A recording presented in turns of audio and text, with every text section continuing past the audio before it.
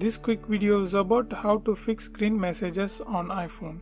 Sometimes you can see this while you are chatting on iMessage, you will see the screen message on iMessage chat. So how to fix this? First minimize this and open settings app. Scroll down and open messages. Now make sure you turn on this iMessage option. After you turn on this, just tap send and receive. Yeah.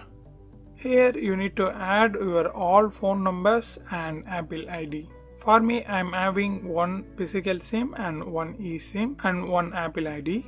To send iMessages, you need a internet access and also you need to turn on iMessage. Then you have to get the stick verification on your both phone numbers if you have both SIMs and also your Apple ID.